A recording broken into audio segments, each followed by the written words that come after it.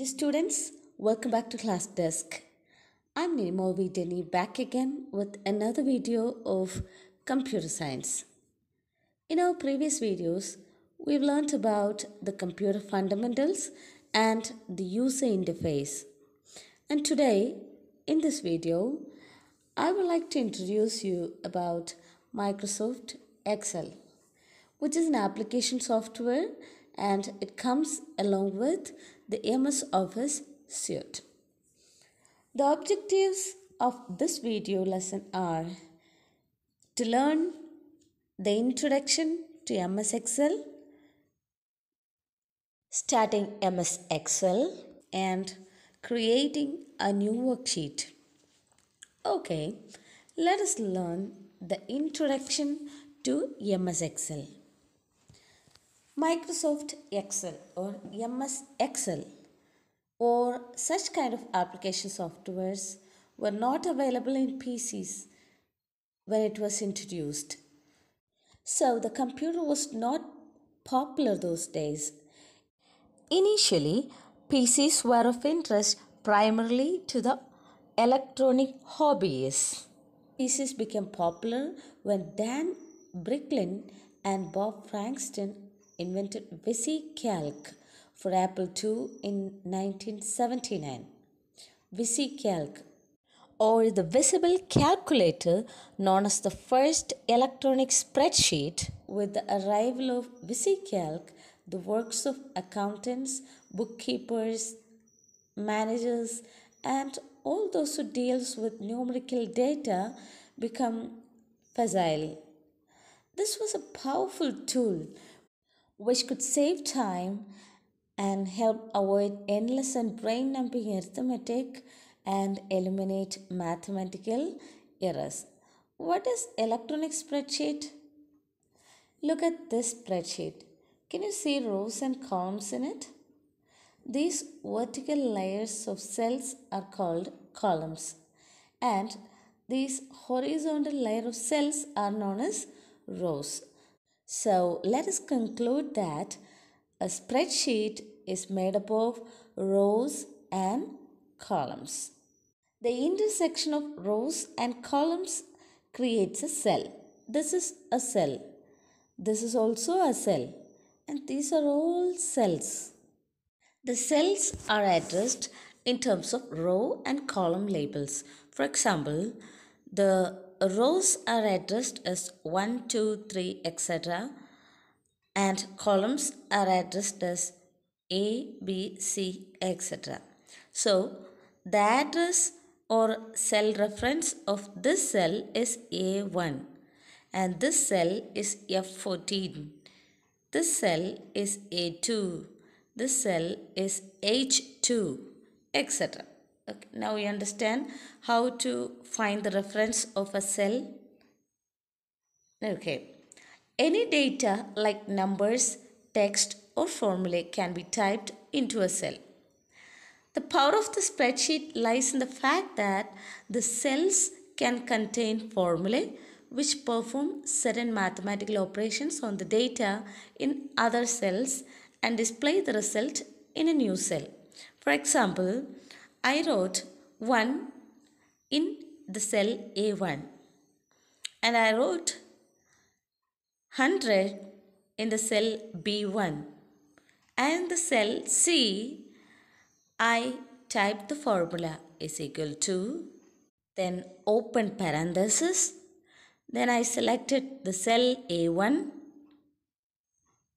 then I typed a plus sign then I selected the cell B1. Then I closed the parenthesis and I clicked on enter. Now can you see the value 101 came in the cell C.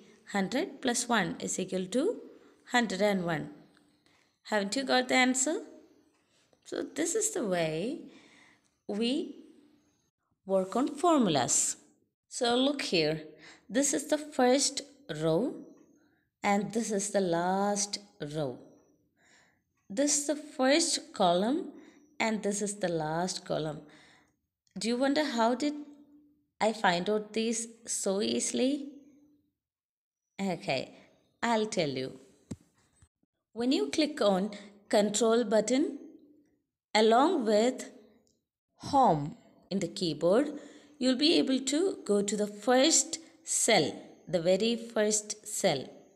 Okay? And after that, I clicked on control along with right arrow. So now I reached in the last column, right? Again, I clicked on control and left arrow. Now I am the same first cell. Okay. So in order to get, in order to go to the last row, I just clicked on control and down arrow. Isn't it that easy? Electronic spreadsheets can also be used for presenting the worksheet data in an impressive manner, such as bar chart, pie chart, line graph, three dimensional chart, and other visual, visual forms. I'll teach you how to make all these. Okay. The term spreadsheet and worksheet means one and the same.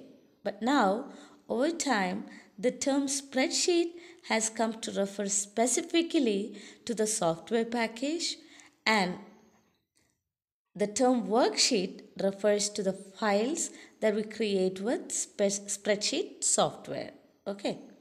Now we need to learn how to start an MS Excel window. MS Excel or Microsoft Excel is a part of MS Office.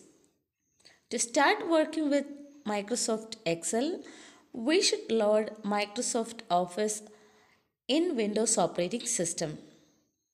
MS Excel is a powerful program included in the MS Office package. I already told you about that, right? It offers all the functions needed for business use, including various financial and statistical functions and much more. If you want to start MS Excel, you need to follow this step. Click on Start. Again, from Start, you will get Programs.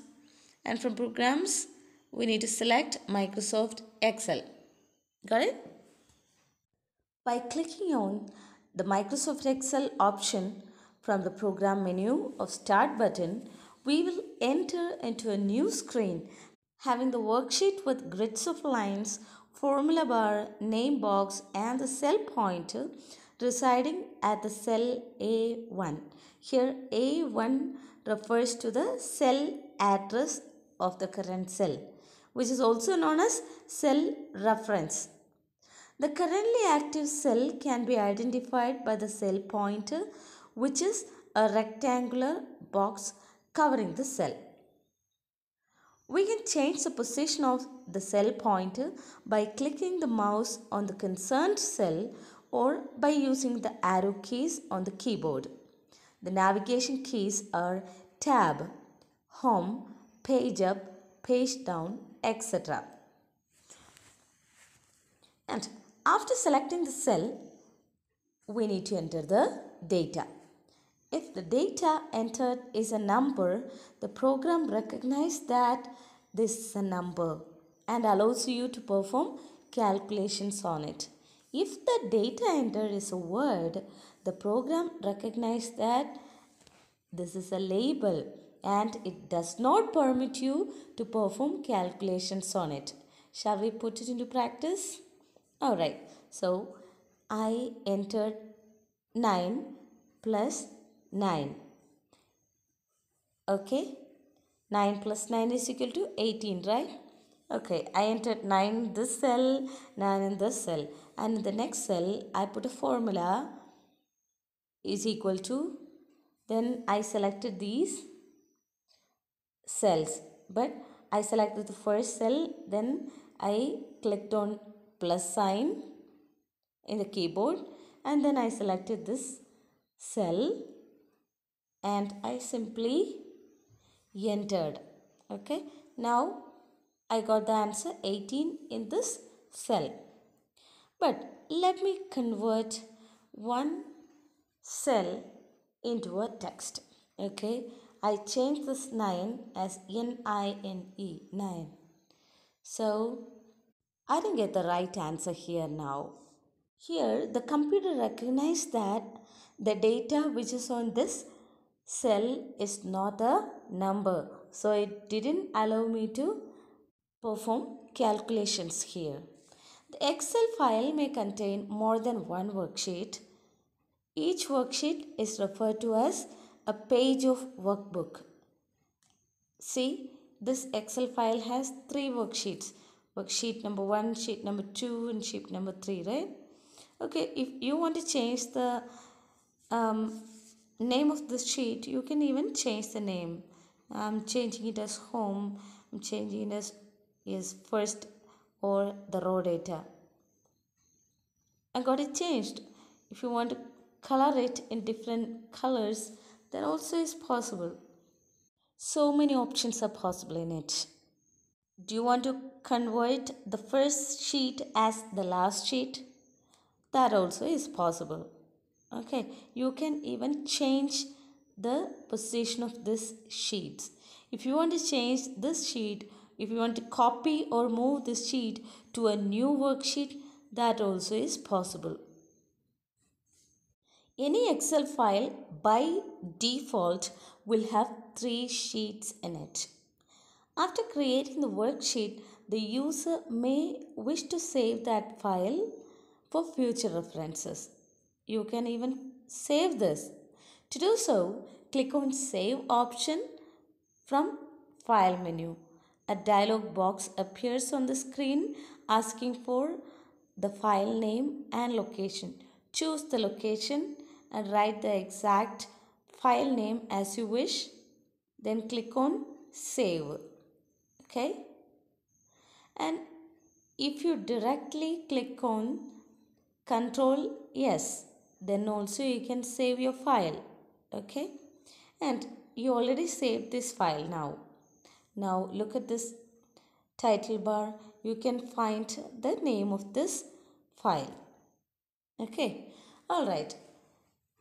If you want to save this file with another, another name, that also is possible. Just go to file, click on save as, then repeat the same procedure. Choose the location, write the exact file name as you wish, then click on save. All the Excel files are saved with file extension .xls. If the user want to retrieve the file, we should select file, then click on open. You choose the location where, where you saved that file. Then click on the name of that file, click on open or directly you can double click the file to open. Okay. I just wanted to give you an introduction of MS Excel through this video. In our coming videos, I will help you with learning MS Excel in detail. Okay. So, let me wind up the session by giving you some points to remember. Number one, VisiCalc. The visible calculator was the first electronic spreadsheet Number two, an electronic spreadsheet is a worksheet used in a computer to create and quickly perform what if analysis of interrelated columnar reports in workspaces. Point number three, the cells are addressed in terms of the row and column labels. Point number four, a spreadsheet is like a grid of cells with a programmable calculator attached to each cell. Point number 6. The term spreadsheet refers to the software packages while worksheets refers to the files that you create with spreadsheet software. Point number 6. Electronic spreadsheets can also be used for presenting the worksheet data in an impressive manner such as bar chart, pie chart, line graph, three-dimensional charts and other visual forms. I would like to wind up our video right now and I'll be back with more videos about Excel in the upcoming days. So until then, please stay home, stay healthy and stay safe. Thank you so much.